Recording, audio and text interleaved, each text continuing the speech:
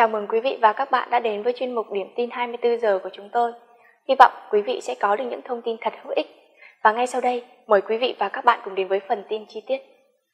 Nghệ sĩ nhân dân Trung Kiên qua đời Trước khi tạ thế, nghệ sĩ nhân dân Trung Kiên bị đột quỵ và đã nhập viện trong một thời gian.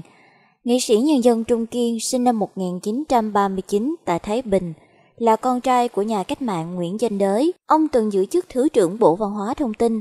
Ông cũng có nhiều năm là giảng viên thanh nhạc tại Học viện Âm nhạc Quốc gia Việt Nam.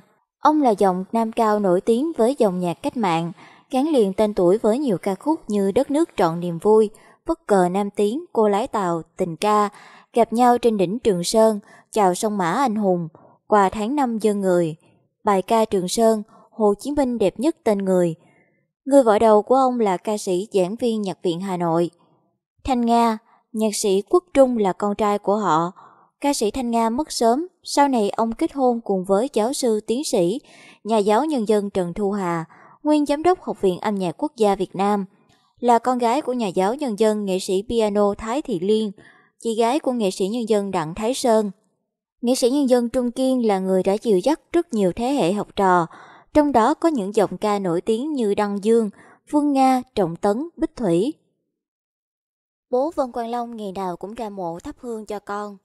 Gần một tháng sau khi Vân Quang Long qua đời, mỗi ồn ào đời tư của nam ca sĩ đã được tạm lắng xuống. Vừa qua, cha mẹ đã đưa tro cốt của Vân Quang Long từ Mỹ về nơi an nghỉ cuối cùng tại quê nhà Sa Đéc, Đồng Tháp. Mộ của anh an nghỉ trong khu vườn sinh thái của gia đình. Một vlogger đưa tin, bố ruột của Vân Quang Long ngày nào cũng ra đốt nhang, chăm sóc phần mộ cho con trai kể từ khi đưa anh về. Mỗi sáng ông đều ra mộ và lặng lẽ đứng nhìn di ảnh của con.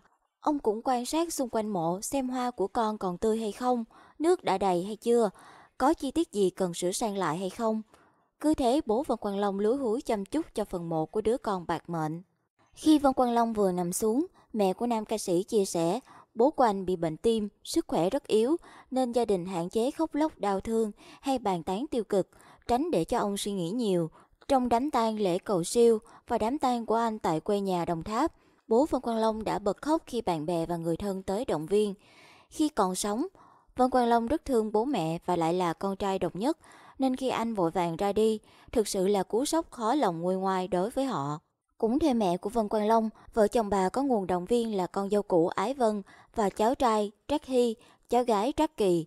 Dù không còn là con dâu nhưng chị Ái Vân đã nhận ông bà làm bố mẹ nuôi, luôn yêu thương kính trọng ông bà.